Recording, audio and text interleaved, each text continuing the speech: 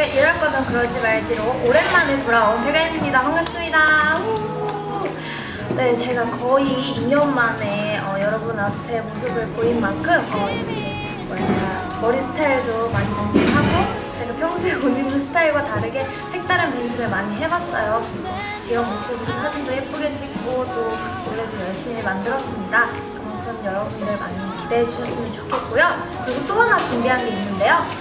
저 팬분들이 조금 더 가깝게 소통할 수 있는 공간인 배가연 댄스가 오픈되었습니다. 우! 네, 댄스는 제 다양한 소식을 접하시고 저와 조금 더 원활하게 어, 소통을 할 수 있는 그런 공간인데요.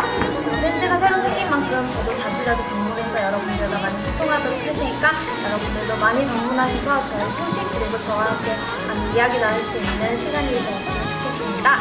네, 제 디지털 싱글 이럴 거면 그러지 말지 많이 많이 사랑해 주시고요. 제 댄스도 새롭게 오픈된 만큼 여러분들 많은 사랑, 많은 관심 부탁드리겠습니다. 지금까지 배가연이었습니다. 감사합니다.